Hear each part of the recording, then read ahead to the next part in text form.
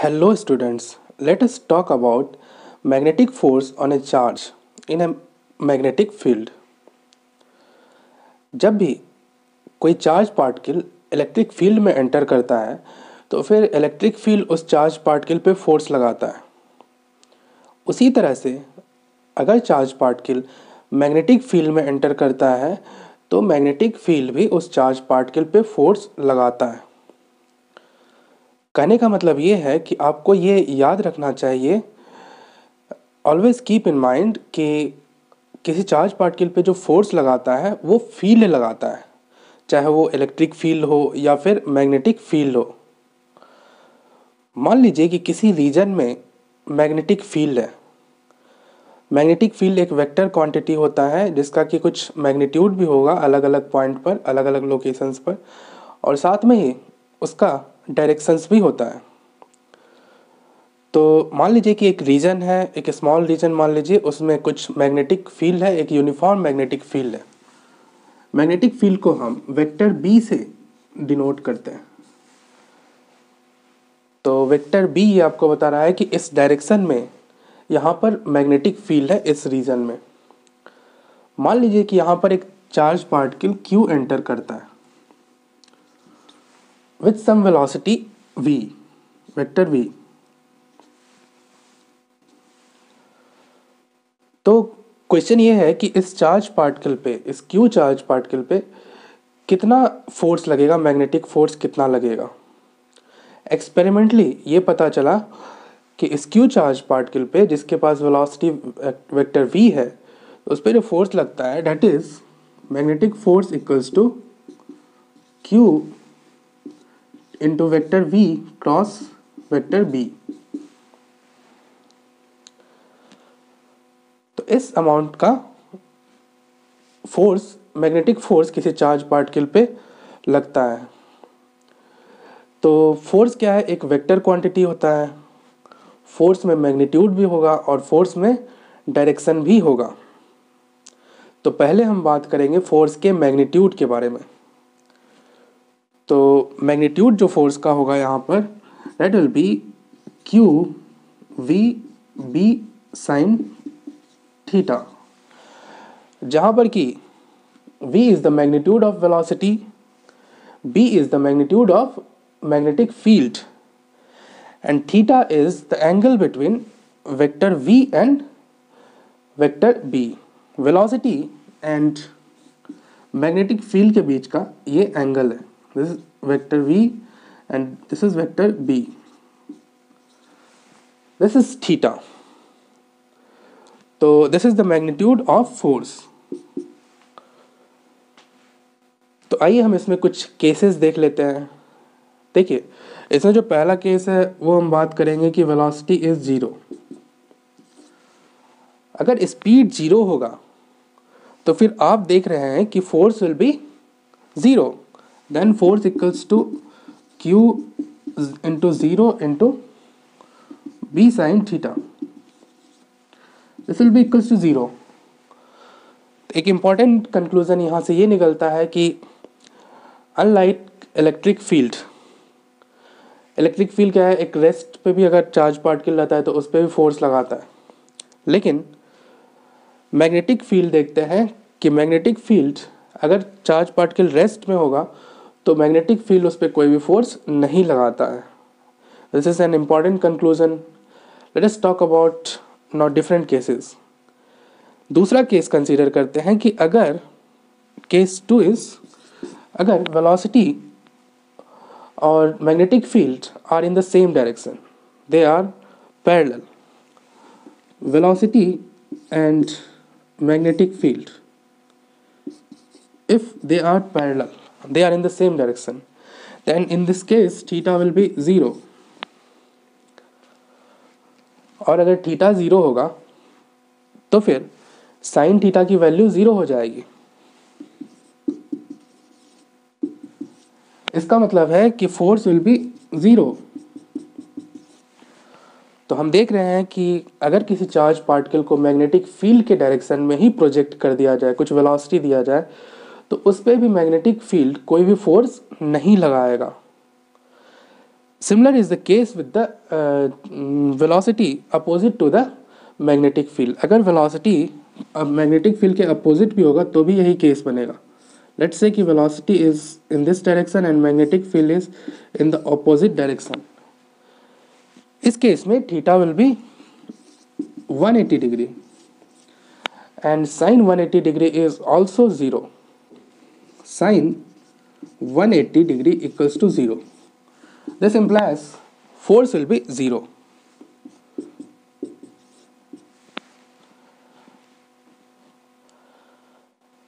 आइए हम एक और केस के बारे में बात करते हैं कि फोर्स किसी चार्ज पार्टिकल पे मैक्सिमम किस केस में लगेगा? किस एंगल पे प्रोजेक्ट किया जाए with a particular speed so that force will be maximum on the charge particle एक मैग्नेटिक फ़ील्ड में किसी चार्ज पार्टिकल को किस एंगल पे प्रोजेक्ट किया जाए? So that the force experienced by the charge particle will be maximum with a certain speed तो उस केस में देखिए साइन थीटा की वैल्यू मैक्सिमम होती है 90 डिग्री पे। तो theta when theta equals to 90 degree force will be maximum on the charge particle theta equals to 90 degree in this case force equals to q v b sin 90 degree equals to q v b This is the maximum value of the force experienced by the charged particle with a certain speed in a magnetic field. Now we have we have talked about the magnitude of the magnetic force. Now let us talk about the direction of the magnetic force. तो direction की बात करते हैं तो direction let's talk about direction now direction of magnetic force will be magnetic force का जो direction होगा force vector will be parallel to the vector v cross b. Force will be in the direction of vector v cross b ये sign आपको बता रहा है, ये symbol आपको बता रहा है कि force vector will be parallel to this v cross b. ये वेक्टर प्रोडक्ट के, इसका एक डायरेक्शन होता है। फोर्स का डायरेक्शन और वेक्टर प्रोडक्ट का डायरेक्शन सेम होगा वेक्टर वी क्रॉस बी का। इफ़ चार्ज इज़ पॉजिटिव इसमें कंडीशन क्या जुड़ेगा? If charge is positive q is positive and case force will be anti parallel this symbol of anti parallel ये आपको बता रहा है कि फोर्स अपोजिट डायरेक्शन में होगा। किसके? तो वेक्टर v क्रॉस बी के। इफ़ q इज़ नेगेटिव इसको आप देख भी सकते हैं यहाँ पर कि अगर आप q की वैल्यू न्यूमेरिकल वैल्यू q की अगर आप पॉजिटिव और नेगेटिव पुट करें इसमें तो अगर आप q की वैल्यू न्यूमेरिकली पॉजिटिव और नेगेटिव पुट करते हैं तो फोर्स विल फोर्स का डायरेक्शन डिफरेंट आएगा। एक एक एक केस में प्लस आएगा तो दूसरे में माइनस आएगा। तो यहाँ से ये पता चलता है कि force experience by negative charge is opposite to the direction of force experience by the positive charge जिस डायरेक्शन में पॉजिटिव चार्ज पे फोर्स लगेगा, उसके अपोजिट डायरेक्शन में मैग्नेटिक फोर्स लगेगा on a negative charge particle जो कि यहाँ पर बताया गया है। Let us talk about the direction of the vector product now. तो वेक्टर प्रोडक्ट के डायरेक्शन को निकालने के लिए आपको दो वेक्टर्स चाहिए, उसको आप टेल टू टेल कॉन्साइड करा दीजिए। दोनों के टेल को कॉन्साइड करा दीजिए। For example let us say we have vector v. ये अगर वेलोसिटी वेक्टर है और आप इसी के साथ मैग्नेटिक फ़ील्ड वेक्टर के भी टेल को कॉन्साइड कराइए, इसके टेल के साथ। तो let's say that this is magnetic field vector and angle between the two vectors is theta. तो ये दो वेक्टर यहाँ पर they are making a plane जब भी दो वेक्टर्स के टेल को कॉन्साइड करेंगे तो वो एक प्लेन आपको देगा। For example in this case in our case here both are in the plane of the whiteboard दोनों जो हैं बोर्ड के प्लेन में हैं। तो क्रॉस प्रोडक्ट का जो डायरेक्शन होता है direction of vector product is perpendicular to the plane उस प्लेन के परपेंडिकुलर होता है। मतलब वेक्टर प्रोडक्ट का जो डायरेक्शन होगा, इस बोर्ड के प्लेन के परपेंडिकुलर डायरेक्शन में होता है। Direction of vector product is perpendicular to the plane containing the vectors तो यहाँ पर इस बोर्ड के परपेंडिकुलर देख, देखिए, दो डायरेक्शंस पॉसिबल है। एक तो डायरेक्शन ये है, जो कि आउटवर्ड है, और दूसरा डायरेक्शन ये है, जो कि बोर्ड के प्लेन के अंदर है। तो इन दोनों में से कौन सा डायरेक्शन होगा, इसको पता करने के लिए हम यूज़ करते हैं right hand rule by right hand rule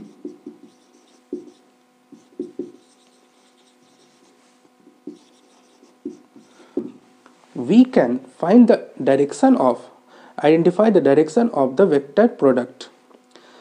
Vector product का डायरेक्शन हम राइट right हैंड से कैसे पता करते हैं तो उसके लिए आप राइट right हैंड को स्ट्रेच कर लीजिए। कुछ इस तरह से। और इस स्ट्रेच्ड पाल्म को आप यहाँ पे रखिए। वेक्टर वी के along perpendicular to the plane of the board containing two vectors उसके बाद आप फिंगर्स को रैप कीजिए। किधर किस डायरेक्शन में? तो in the direction of magnetic field दूसरे वेक्टर के अलॉन्ग फिंगर्स को ले जाइए रैप कीजिए। Thumb will point the in the direction of vector product v vector v cross vector b देखिए पाल्म को रखना होता है पहले पहले वाले वेक्टर के अलॉन्ग तो आपने पाल्म को किधर रखा? वेक्टर वी के अलॉन्ग उसके बाद आपको पाल्म को किधर ले जाना होता है फिंगर्स को किधर ले जाना होता है तो दूसरे वेक्टर के अलॉन्ग मैग्नेटिक फ़ील्ड वेक्टर के along this will give you the direction of vector V cross B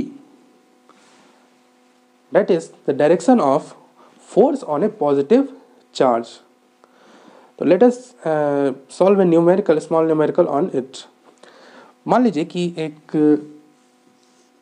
this is x axis, this is y axis or this is z axis.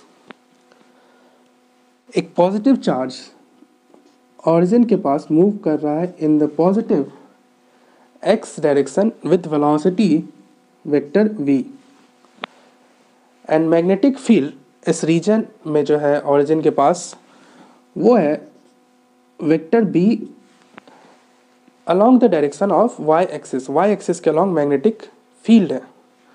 तो आपको ये बताना है कि इस चार्ज पार्टिकल पे, इस पॉजिटिवली चार्ज पार्टिकल पे किस डायरेक्शन में फोर्स लगेगा?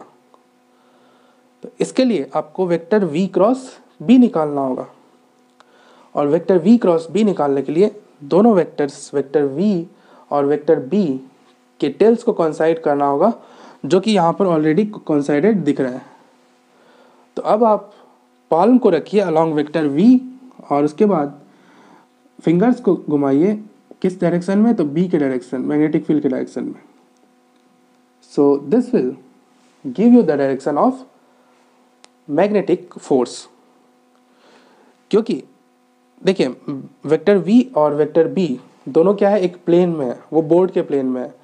बोर्ड के प्लेन के परपेंडिकुलर दो डायरेक्शन है। एक आउटवर्ड होगा और दूसरा इनवर्ड होगा। आउटवर्ड होगा या इनवर्ड होगा, ये बताएगा आपको राइट हैंड रूल और राइट हैंड रूल आपने यूज़ किया, आपको पाल्म को रखना होता है वेक्टर वी के along and then it you have to move it along direction of magnetic field fingers को. So magnetic force on this positive charge will be out of the plane of the board question है कि अगर यहाँ पर negative charge होता तो उसके लिए हम मैग्नेटिक फोर्स किस डायरेक्शन में होता है वो कैसे निकालते हैं? तो जब भी नेगेटिव चार्ज आपको दिया हो, नेगेटिव चार्ज पे फोर्स का डायरेक्शन तो आपको पता ही है, आपको इस फैक्ट का यूज़ करना है कि नेगेटिव चार्ज पे जो फोर्स लगेगा, magnetic force that will be opposite in the direction of opposite to the direction of magnetic force on a positive charge तो क्योंकि पॉजिटिव चार्ज पे आउटवर्ड के डायरेक्शन में फोर्स लगा है तो नेगेटिव चार्ज पे जो फोर्स लगेगा वो इनवर्ट के डायरेक्शन में लगेगा। Inward perpendicular to the board plane of the board negative charge के केस में आपको अलग से फोर्स निकालने की आपको एज्यूम करना है वहाँ पर कि पॉजिटिव चार्ज ही है। आप पॉजिटिव चार्ज पे फोर्स निकाल दीजिए। और पॉजिटिव चार्ज पे जो फोर्स का डायरेक्शन होगा, उसके अपोजिट डायरेक्शन में आपको नेगेटिव चार्ज पे मैग्नेटिक फोर्स का डायरेक्शन एज्यूम करना है। ना, एक क्वेश्चन है कि क्या चार्ज पार्टिकल की स्पीड या काइनेटिक एनर्जी चेंज होती है मैग्नेटिक फोर्स के कारण? तो मैग्नेटिक फोर्स वेलोसिटी के परपेंडिकुलर होता है।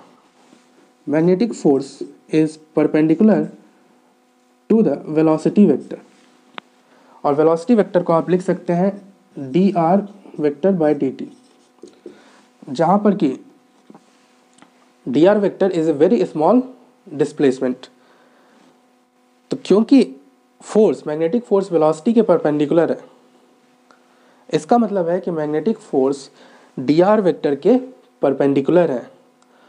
और डी आर वेक्टर और मतलब कि फोर्स और डिस्प्लेसमेंट अगर परपेंडिकुलर है तो फिर work done will be zero और क्योंकि चार्ज पार्टिकल पे मैग्नेटिक फोर्स का वर्क ज़ीरो है तो मैग्नेटिक फोर्स के कारण काइनेटिक एनर्जी में कोई भी चेंज नहीं होगा, क्योंकि वर्क एनर्जी थ्योरम से ये पता चलता है कि काइनेटिक एनर्जी में जो चेंज होता है, वो वर्क के अमाउंट से ही होता है। क्योंकि वर्क ज़ीरो है तो इसका मतलब है कि चार्ज पार्टिकल की काइनेटिक एनर्जी चेंज नहीं होगी due to the magnetic force और क्योंकि काइनेटिक एनर्जी में कोई चेंज नहीं होगा, इसका मतलब है कि चार्ज पार्टिकल की स्पीड भी सेम रहेगी। तो मैग्नेटिक फोर्स के कारण कभी भी चार्ज पार्टिकल का स्पीड या फिर काइनेटिक एनर्जी चेंज नहीं होता।